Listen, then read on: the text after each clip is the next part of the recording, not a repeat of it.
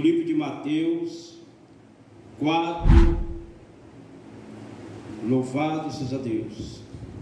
Mateus 4.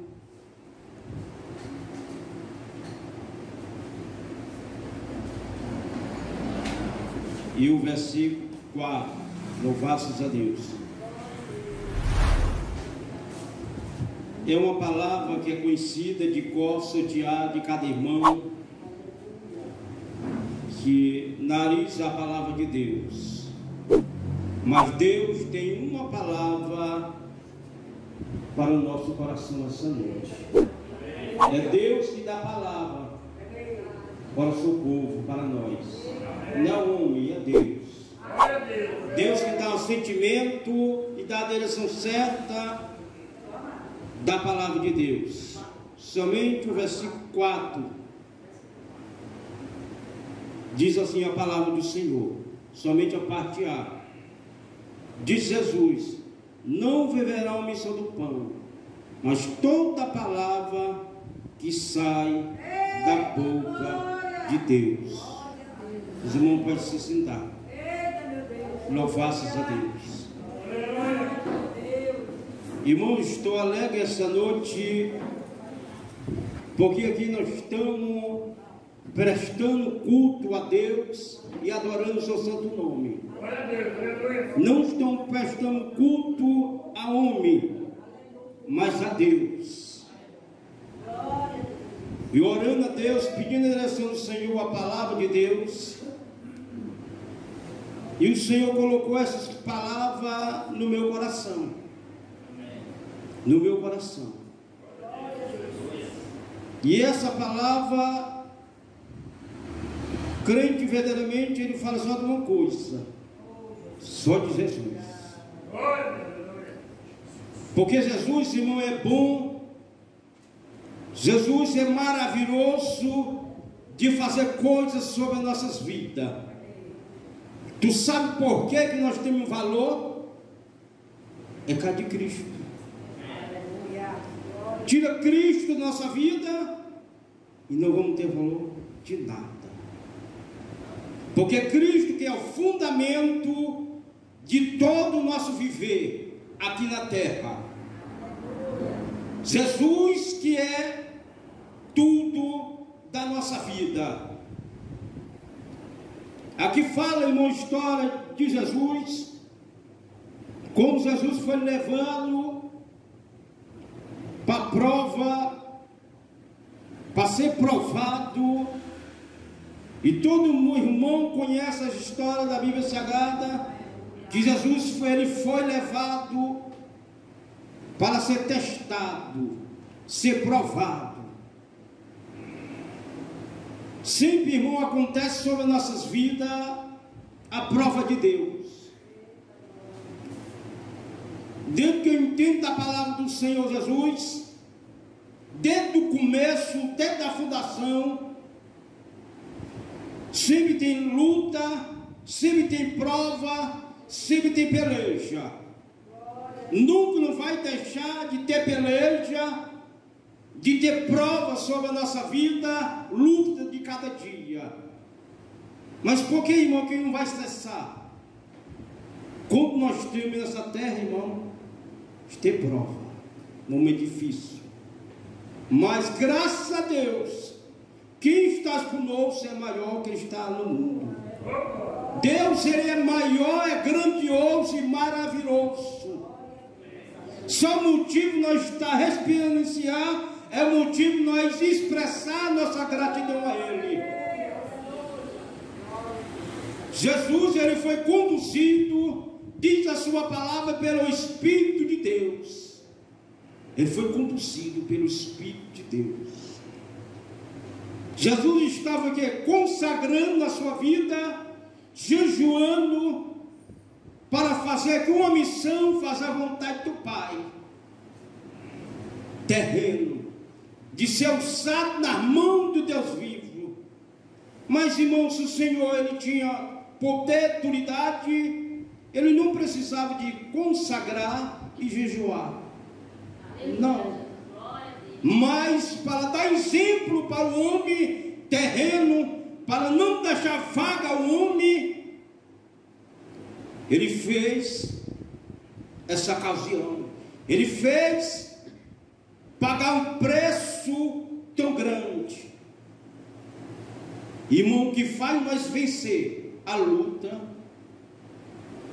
vencer, não tem outro segredo, não tem segredo para cristão, que faz você vencer é de joelho. Você quer vencer as pelejas de joelho, dropado na presença de Deus. Está de joelho na presença de Deus, irmão. Não tem ninguém que derruba a sua vida, porque você está na direção do Espírito de Deus. Isso. E o nosso inimigo, Satanás, naquele momento, como Jesus estava com fome e sede, e Satanás se apresentou para tentar Jesus. Agora tu imagina, irmão. O próprio Jesus, ele foi tentado. Imagina nós. Nós somos tentados de várias formas. Várias formas, o inimigo, ele quer tirar nossa paz, ele quer tirar nossa alegria, ele quer tirar nosso conforto na presença de Deus. Mas se você entregar a tua vida na mão de Deus vivo, Ele não tira. Mas por que, irmão? Que o Senhor é o nosso dono. Nós temos um dono que pertence às nossas vidas. E Satanás começou a oferecer para Cristo. Cristo diz a sua palavra que ele estava ardente com fome. Com fome daquele momento, eu analisando no contexto da palavra de Deus, o inimigo ele acha só no momento, da, da fraqueza. Ele caça qual é a fraqueza da nossa carne, qual é a fraqueza da nossa vida para atingir a nossa vida. Cada crente tem um momento de fraqueza. Porque não é super-homem, não é super-homem. Cada crente tem uma fraqueza, mas para vencer,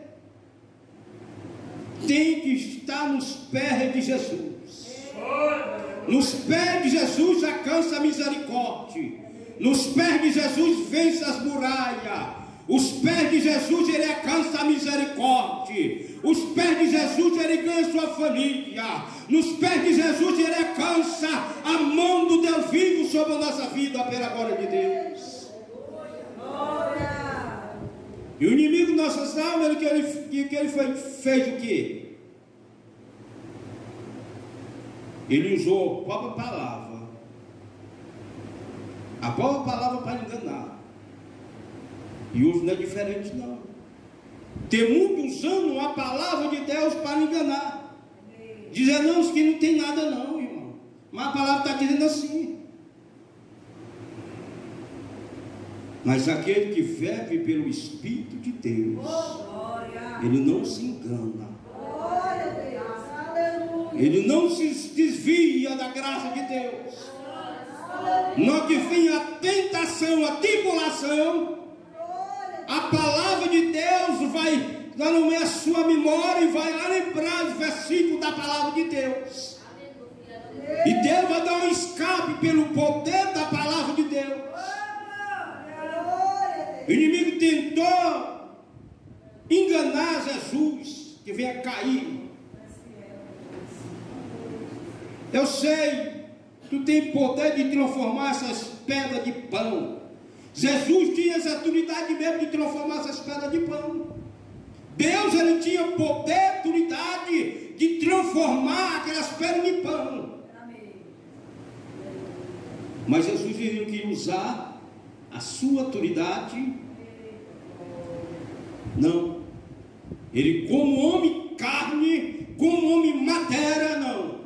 Ele não vou usar aqui não. Eu vou usar a palavra do meu Pai. Eu vou usar a palavra de meu pai para combater ele, para destruir toda, toda maneira a força dele pela glória de Deus. A melhor coisa, irmão, para um cristão vencer o mal é a palavra de Deus. O que é diz a palavra? Guardei a tua palavra no meu coração para não pecar contra ti. Se nós guardar a palavra de Deus em nossas vidas,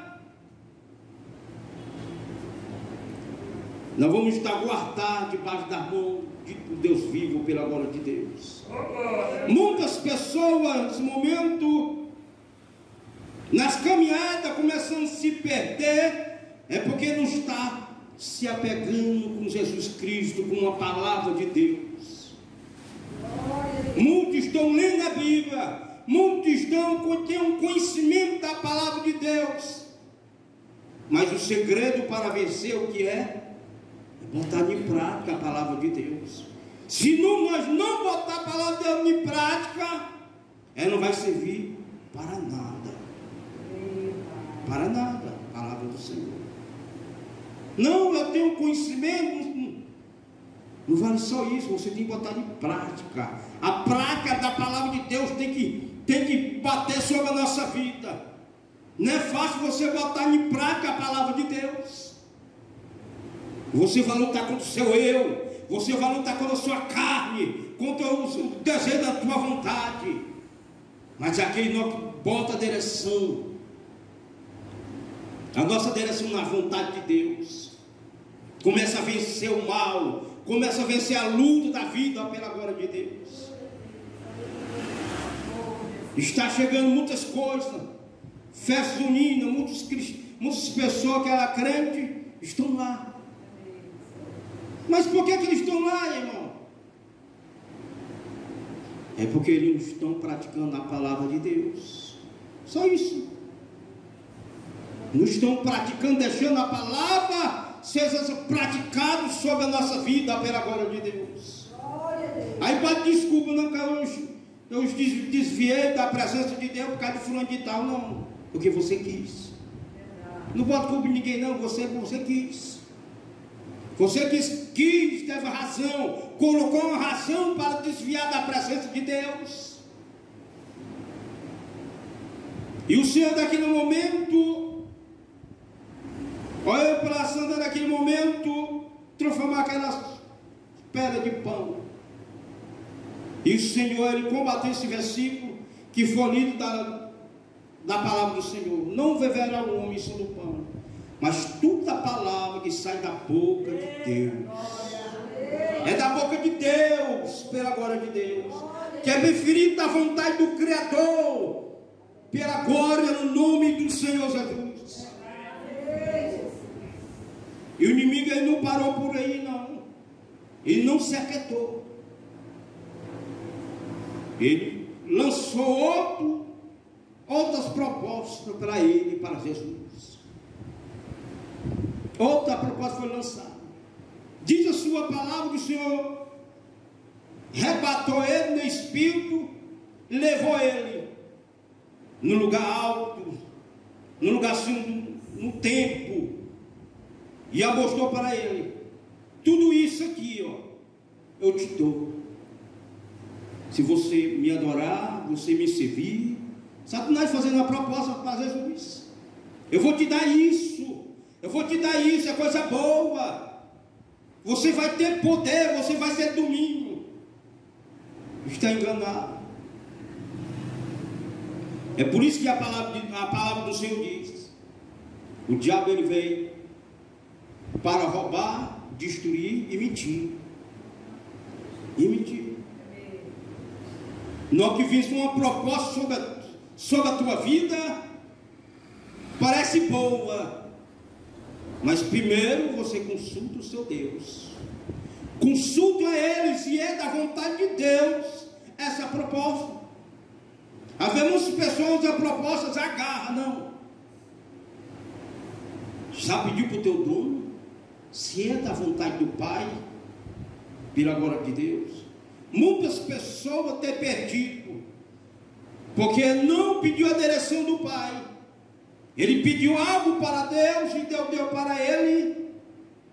E ele não examinou a sua vida.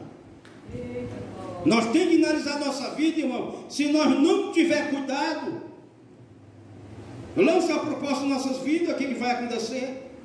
Nós não vamos ter tempo para a casa de Deus. Nós não vamos ter tempo para servir a Deus. Só ocupar, só trabalhando. Hoje o homem, o ser humano sobre a terra, a preocupação está mais com coisa terreno. Apegado com as coisas terreno. Apegado com a riqueza, com carro, com casa, muitas coisas. Irmão, é pecado ter riqueza? Não. Mas no nosso coração não tem que estar pegado com essas coisas. Nosso coração tem que estar ligado ao Pai. A nossa mente tem que estar ligada no alto. É o alto que é o nosso alvo pela glória de Deus. E o inimigo começou a oferecer as coisas, eu te dou tudo isso. Ó, oh, mentira grande, irmão. Que ele não tem nada. Ele não tem nada. E muitas pessoas irmão, enganadas pela mentira. Pela mentira. Até as pessoas que são cristãos são enganadas. Tem até o dia da mentira. Tem, tem um dia que dá mentira. Né? Mas o cristão que é lavado pelo sangue de Cristo, ele é verdadeiro. Ele não está mentindo, não, ele é verdade. Se ele vive da vontade de Deus, obedecendo a palavra de Deus, não está mentindo, não. Tem que ser verdadeiro. Tem que ser crente, não é só aqui dentro da casa de Deus, tem que ser crente no serviço, na escola, onde estiver. Ele tem que ser crente, verdadeiro, pela glória de Deus. Não que as povos, o povo mundo, o povo que não, não tem até não que olhar para você, vê a presença de Deus sobre o teu corpo, na tua A graça de Deus vive sobre a nossa vida, tem que manifestar sobre a nossa vida. Irmão, nós sem Deus não somos nada. Esse vestimento aqui não vale nada. Sapato não vale nada. O que vale de nós o querido Santo Espírito que habita dentro de nós, que tem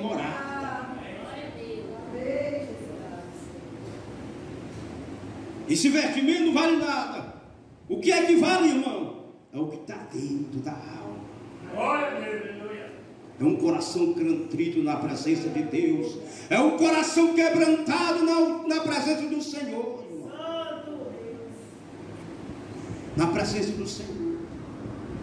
Às vezes muitas pessoas vão pregar essas palavras bonitas, não sei o quê. Às vezes vai orar a palavra bonita, bela. Está enganado. Nosso Deus, Ele é simples, irmão.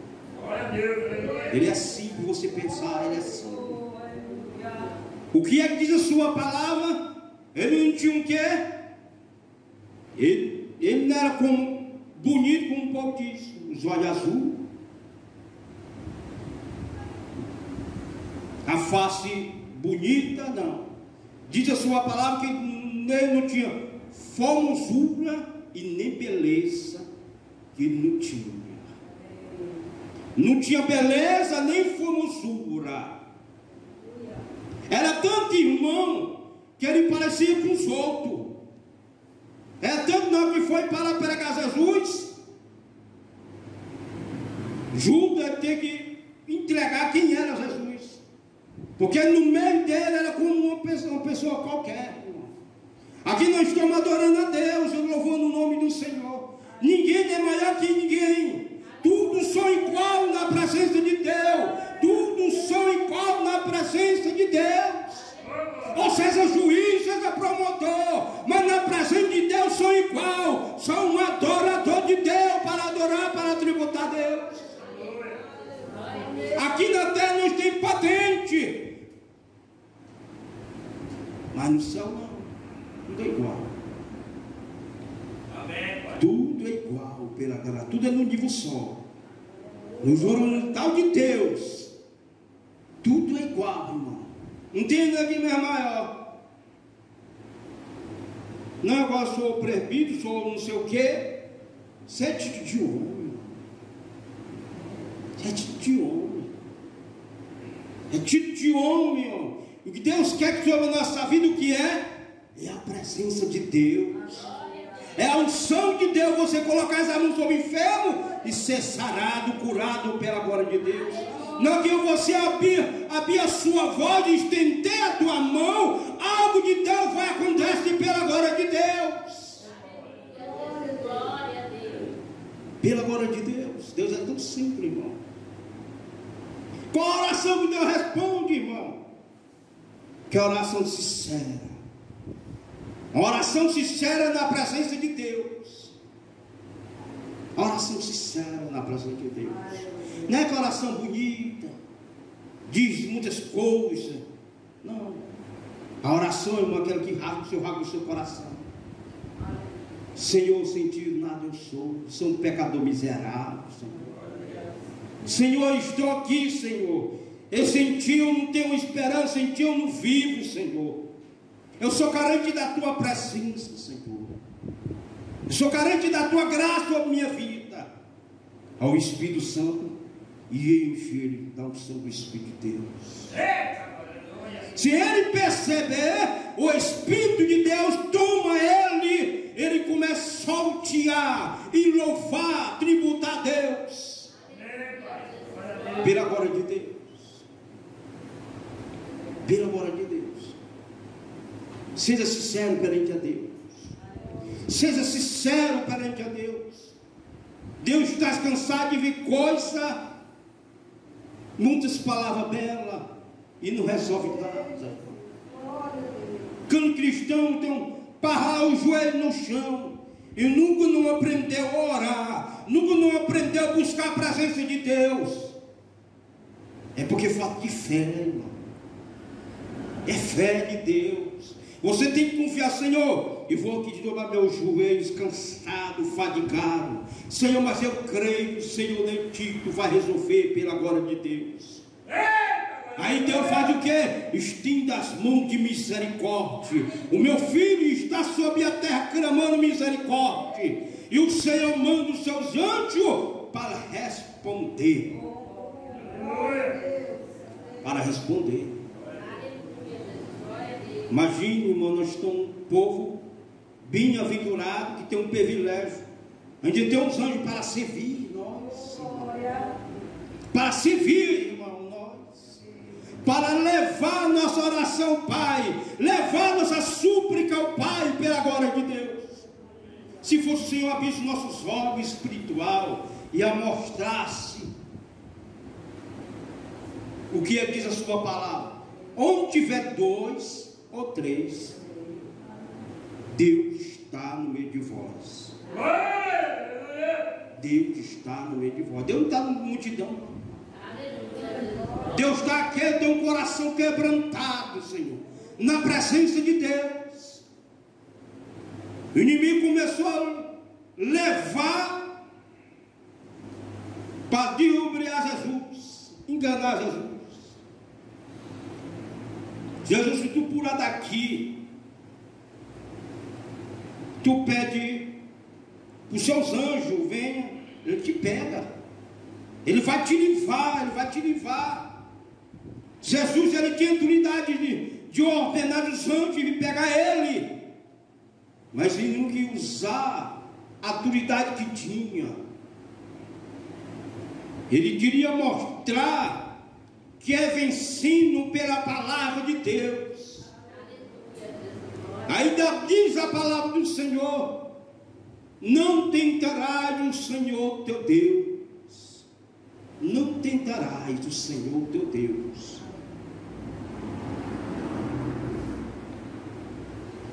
Depois o inimigo viu que Jesus não tinha saído a enganar ele, o Senhor de repreender ele. Senhor te repreendeu, ele bateu retirada pela glória de Deus. E assim sobre a nossa vida. Se nós não tiver cuidado, irmão, Miguelinho é dentro da nossa casa. E faz morada, senta e vai morada. Aí nós começamos a perguntar, mas por que, que minha casa está tribulada? Por que nada eu faço não dá certo? É porque você tem que entrar na presença do Altíssimo. Você tem que entrar na presença do Senhor Jesus. Na graça do Senhor Jesus. Se pensou, irmão Jesus, em receber essas propostas, ele tinha perdido, mas ele sabia que ele estava crendo. Ele sabia que a ordenança que o Pai tinha dado a ordem sobre a terra para cumprir a palavra de Deus. E Jesus passando todo momento aquela cena, mas não negou. Sempre Jesus estava orando, sempre ele estava orando. Sempre ele tinha um segredo com o Pai. Sempre ele tinha um segredo com o Pai. E cada crente tem que ter um segredo, intimidade com o Pai. Cada crente na sua casa tem que ter um santuário de Deus. Cada crente tem que ter um santuário na casa de Deus, irmão. É um cantinho de você conversar com o Pai. O que é que o Pai ensina para nós? Ele dá o que? Um conselho, ensina a orar. Entre no seu quarto e fala com o Senhor em secreto. Secreto. Tem muitas pessoas que oram, conta a vida de todinho para o outro irmão que está do outro lado. Está de joelho no lado aqui, conta, oh, Senhor, minha vida está assim, assim, assim. Aí vem aquele irmão no vigília vai começar a contar toda a vida dele. É secreto, irmão, nossa vida com Deus. É secreto você entrar num santo lugar, na presença de Deus, irmão, não é qualquer jeito não. O que é que tem que fazer, irmão Carlos? Eu tenho que consertar esse meu altar, eu tenho que analisar a minha vida. Para me entrar na presença de Deus, irmão. Muitas pessoas não têm mais essa reverência a Deus. Não, não tem mais essa reverência. Às vezes você está orando aqui, chega o irmão e fala, tal, não dá chave. Você não está conversando é com um homem qualquer, não. Está conversando com o seu Senhor, que é supremo de todas as coisas, pela glória de Deus. Às vezes nós estamos fazendo uma leitura da palavra de Deus. Às vezes tem irmãos que não param mais. Se abrir o livro sagrado, você tem que parar o quê? Reverência à palavra de Deus reverência à palavra de Deus. Dando de pisar na casa de Deus, guarda a sua palavra,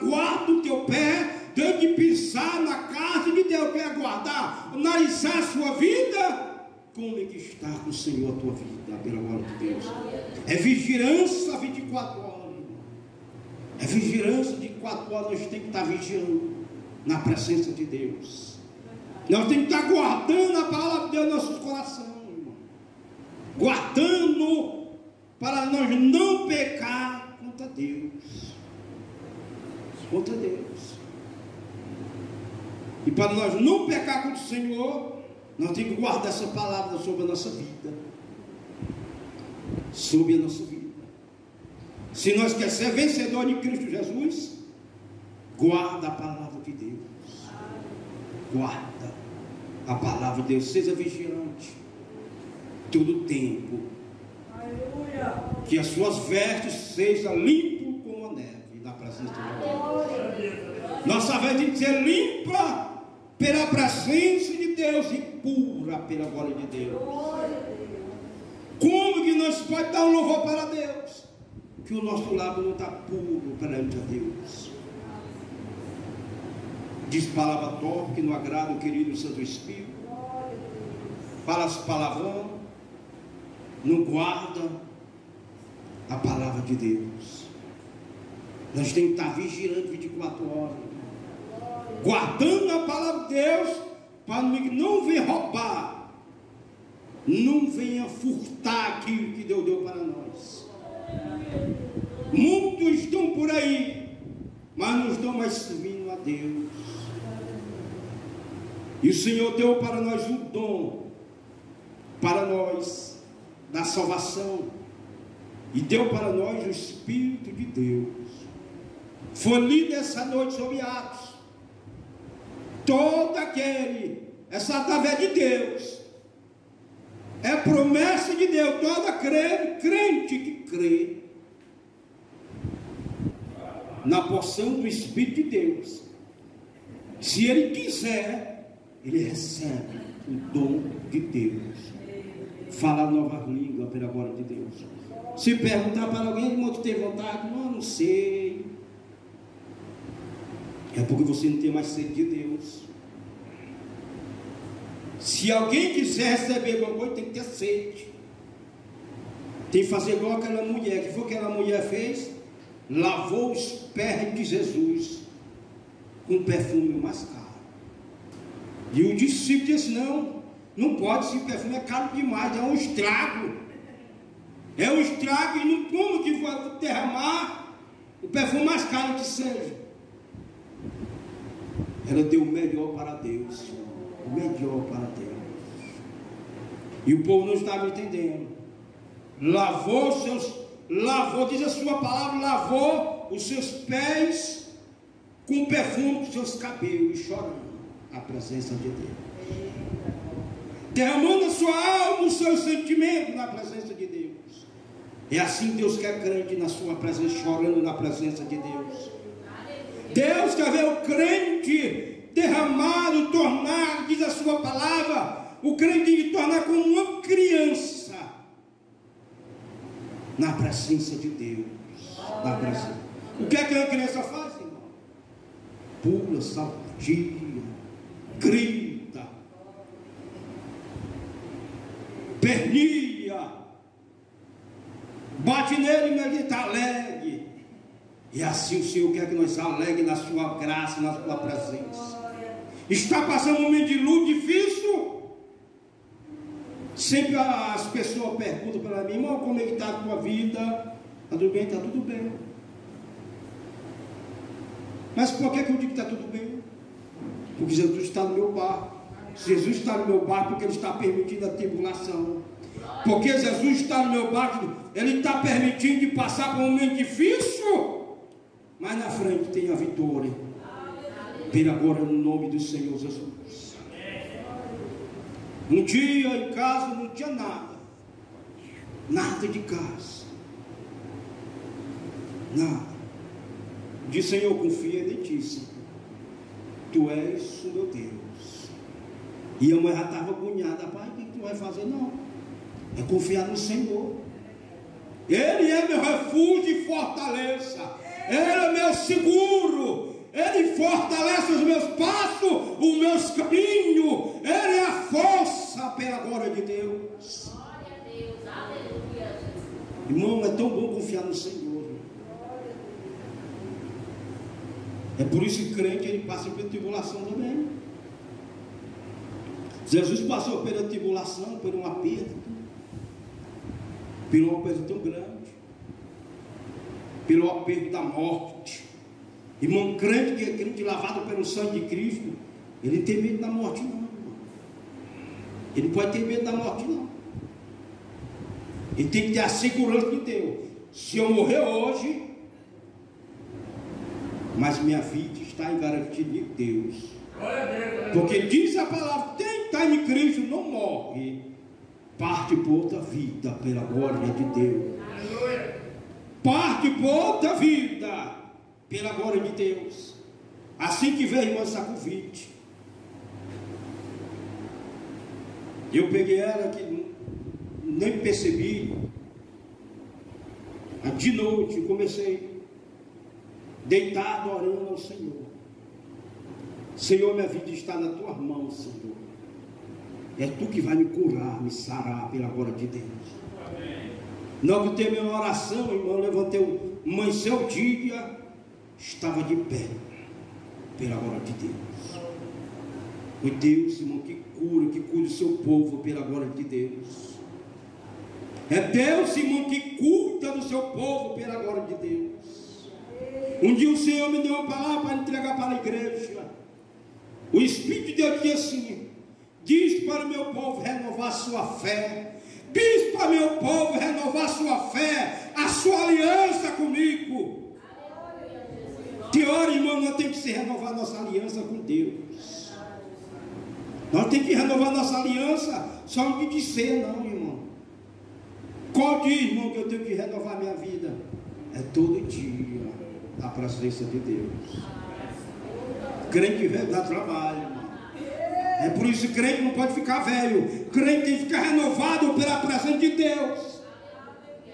A sua matéria está velha, a sua carne está velha, mas seu espírito está sendo renovado pela força de Deus.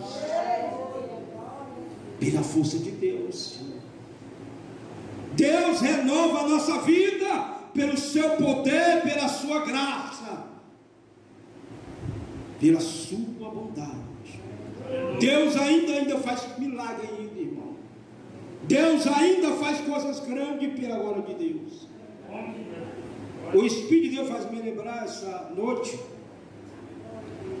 Antes de minha mãe aceitar Jesus, a minha mãe era uma feiticeira, servia Satanás, servia os banda. Ela faltava uma coisa para ser consagrado a Satanás. Era chamado cruzado.